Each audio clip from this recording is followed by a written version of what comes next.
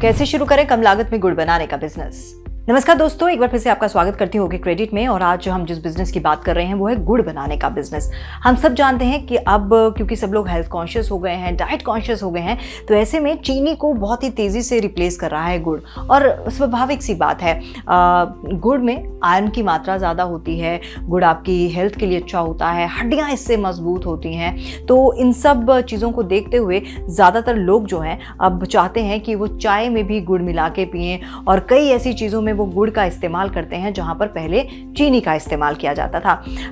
आपको ये वीडियो पसंद आए तो ज़रूर लाइक कीजिएगा और हमारे चैनल को ज़रूर सब्सक्राइब कीजिएगा। इसके अलावा बेल आइकॉन का बटन ज़रूर दबाइएगा, क्योंकि आज का ये वीडियो बहुत महत्वपूर्ण है आपके लिए। और अगर आप किसी ऐसे एरिया में रहते हैं जहाँ पर गन्ने की जो खेती है, वो ज़्यादा होती है तो आपके लिए तो ये वीडियो बनता ही है। क्योंकि हम सब जानते हैं कि गुड़ जो है, वो गन्ने से तैयार होता है। तो ये इसका पूरा प्रोसीजर क्या है और कैसे आप इसका बिज़नेस स्टार्ट कर सकते हैं, इसका आइडिया आज आपको इस वीडियो के ज़रिए मिलेगा। तो चलिए शुरुआत करते हैं।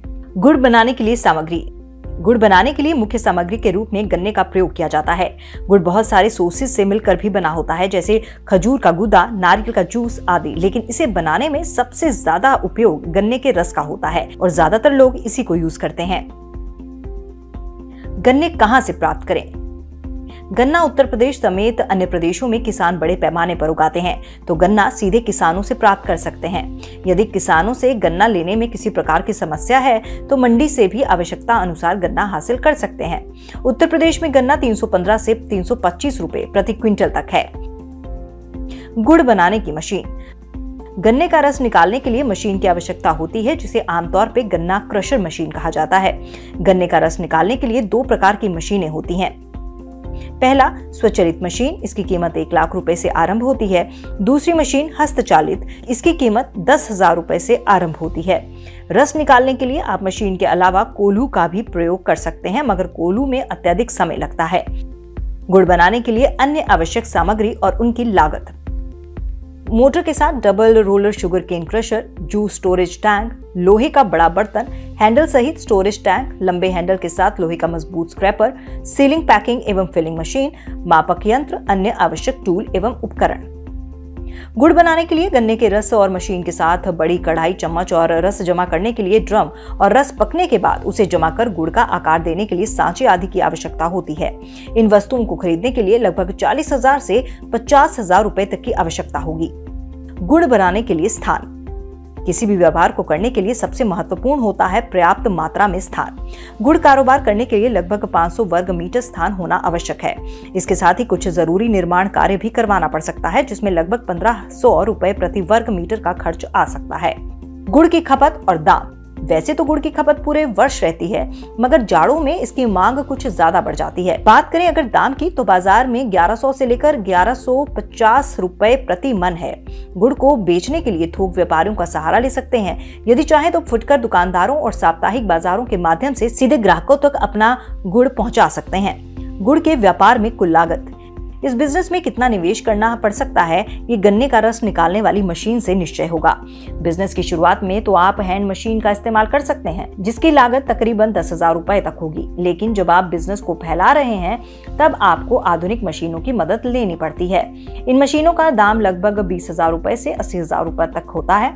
क्रशर मशीन की कीमत लगभग एक लाख के आसपास होगी, यानी कि इस व्यापार में आपको पंद्रह हज़ार से एक लाख बीस हज़ार तक या दो लाख तक निवेश करना पड़ सकता है।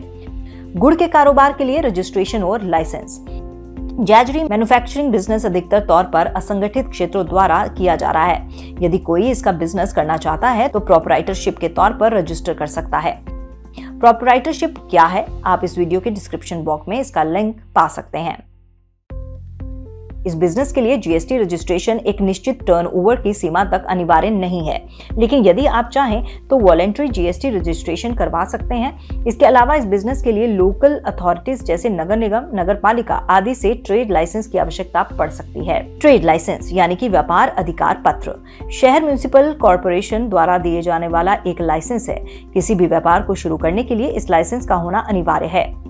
एफ़ एस एस आई खाने पीने का बिज़नेस शुरू करने के लिए F F S I licence लेना ज़रूरी होता है। ये आपके प्रोडक्ट की गुणवत्ता को चेक करके आपको लाइसेंस प्रोवाइड कराता है। Fire NOC. ऐसा व्यापार जिसमें आग की आवश्यकता होती है तो ऐसे में इस लाइसेंस का होना अनिवार्य होता है। फायर डिपार्टमेंट से नो ऑब्जेक्शन सर्टिफिकेट प्रोवाइड करने के बाद बिज़नेस शुरू किया जा सकता है। इसके अलावा व्यापार और व्यापारियों को बढ़ावा देने के लिए भारत सरकार लगातार एमएसएमई माध्यम से सहायता कर रही है। सूक्ष्म, लघु एवं मध्यम उद्यम मंत्रालय और भारत सरकार द्वारा संचालित एमएसएमई पर ऑनलाइन रजिस्ट्रेशन करा सकते हैं। गुड़ के व्यापार में कितना होगा लाभ? यदि आप हर दिन 40 किलोग्राम गुड़ बनाते हैं और आप कम से कम 30 रुपए प्रति किलोग्राम दर से बेचा जाए तो प्रतिदिन आप तकरीबन 1000 से 1200 रुपए तक कमा सकते हैं। बिज़नेस के लिए बनाए मार्केटिंग स्ट्रैटेजी। यदि आप अपने गुड़ की मार्केटिंग करना चाहते हैं तो आपको सबसे पहले अपने ब्रांड का एक अच्छा सा नाम चुनना होगा, जिससे आपके गुड़ का नामकरण हो सके और इसी नाम से आपके प्रोडक्ट को जाना जा सके। आप अपने गुड़ का प्रमोशन ऑनलाइन और ऑफलाइन दोनों तरीकों से करा सकते हैं। ऑनलाइन के लिए आपको अपने सोशल मीडिया अकाउंट से प्रमोशन करना होगा, जिससे आपके प्रोडक्ट के बारे में आपके दोस्तों को या फॉलोअर्स को पता चल सके और वो आपको ऑनलाइन ऑर्डर दे सके। साथ ही यदि आप प्रमोशन में पैसे खर्च कर सकते हैं तो आप ऑनलाइन प्रमोशन के लिए पैसे लगा सकते हैं।